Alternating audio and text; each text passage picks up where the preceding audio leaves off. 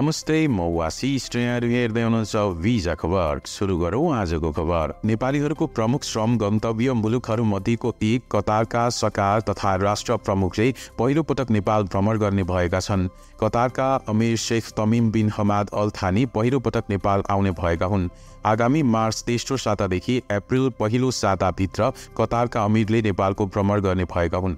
त्यस क्रममा दुई देशबीच ऐतिहासिक तथा दीर्घकालीन महत्वका समझदारीहरू हुने बताइएको छ। श्रम रोजगार तथा सामाजिक सुरक्षा मन्त्री शरद सिंह भण्डारीका अनुसार कतारी अमिरको भ्रमणका बेलामा दुई देशबीच श्रम मामिला सम्बन्धी केही समझदारी तथा सम्झौता गर्न लागि छ। त्यसका लागि कतिपय समझदारी तथा सम्झौताका मस्यौदालाई अन्तिम रूप दिने काम जारी छ। श्रम मन्त्री भण्डारीका अनुसार सन् दुई हजार पाँचमा नेपाल र कतारबीच भएको तर खासै कार्यान्वयनमा नआएको श्रम सम्झौताको नयाँ मस्यौदा तयार पारिएको छ। उनले उक्त सम्झौता सम्बन्धी समझदारी पत्रमा अमेरिको भ्रमणका क्रममा दुई देशबीच हस्ताक्षर गर्ने योजना बनाइएको बताए। भण्डारीले भनेका छन् सञ्चारदेखि वन क्षेत्र र जलवायु परिवर्तनदेखि लगानी र श्रमसम्मका कुरा हुन्छन् बहु समझदारी हुन्छन् र ती मन्त्रालय अनुसार फरक फरक छन्। मन्त्री भण्डारीले दिएको जानकारी अनुसार कतार प्रहरीमा नेपालीहरूलाई लिने बारे पनि समझदारी हुन सक्छ।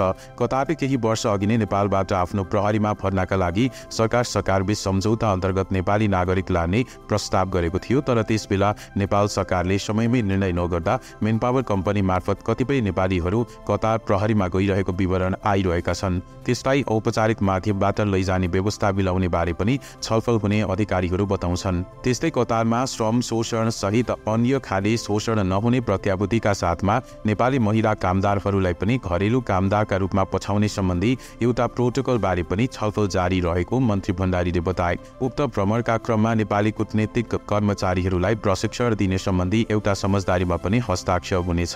त्यस्तै शिक्षा क्षेत्रमा सहायता गर्ने सम्बन्धी र सूचना तथा सञ्चार क्षेत्र सम्बन्धी समझदारीहरू पनि गर्ने तयारी छ। नेपालको महान्यायाधिवक्ताको कार्यालय र कतारको त्यस्तै निकायबीच पनि सहकार्य गर्ने समझदारी हुने बताइएको छ। युवा र खेलकुद एवं संस्कृति र कलाबारे पनि छुट्टै समझदारी हुनेछन्। कतारी अमिरको भ्रमणका क्रममा नेपालले कतारलाई दुईवटा हात्तीका छावा दिने भएको अधिकारीहरूले जनाएका छन्। केही वर्ष अघि नेपालले कतारलाई नेपालमा पाइने एक प्रकारको बाज उपहार दिने प्रस्ताव गरेको थियो। त्यसबेला कतारी राजदरबारले त्यसलाई स्वीकार गरे पनि नेपालमै मन्त्रालयहरूबीच समन्वय नहुँदा उक्त योजना असफल भएको अधिकारीहरू बताउँछन्। यसपालि भने नेपालले कतारी चिडियाखानाका लागि दुईवटा छावा उपहार दिन लागेको बुझिएको छ। यसअघि गत कार्तिक बिस र एक्काइस गते थानीले नेपाल भ्रमण गर्ने तालिका सार्वजनिक भएको थियो जुन पछि उनले स्थगित गरे। पश्चिम एसियामा इजरायल र प्यालेस्टाइन विद्रोही समूह हमासबीच युद्ध चर्किएपछि बढेको तनावका कारण नेपाल भ्रमण स्थगित गर्नु परेको काठमाडौँ स्थित कतारी दूतावासले बताएको थियो। हस् त आजको भिडियो यति नै। तपाईँले एट द रेट भिजा खबर सर्च गरी फेसबुक इन्स्टाग्राम र ट्विटरमा पनि हाम्रो सामग्रीहरू हेर्न सक्नुहुन्छ।